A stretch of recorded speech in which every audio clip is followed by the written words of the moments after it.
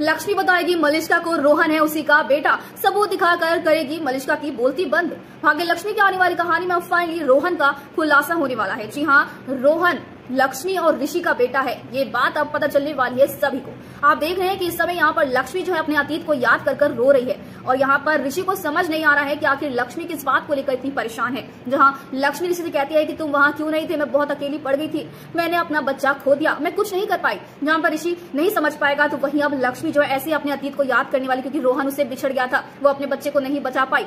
पारो जैसे ऋषि और लक्ष्मी की बेटी ठीक वैसे ही रोहन भी ऋषि और लक्ष्मी का ही बेटा है।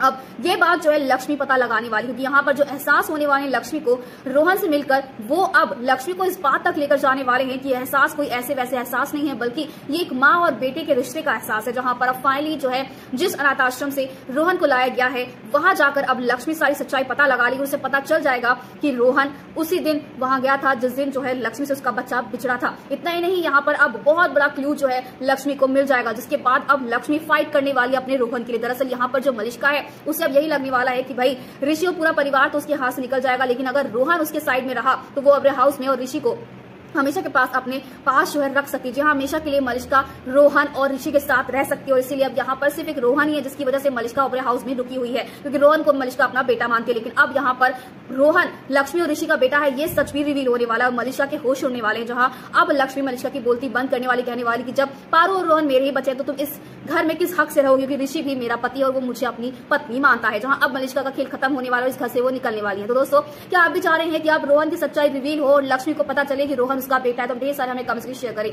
ऐसी टीवी के लिए अपडेट के लिए चैनल को सब्सक्राइब करना ना भूलें।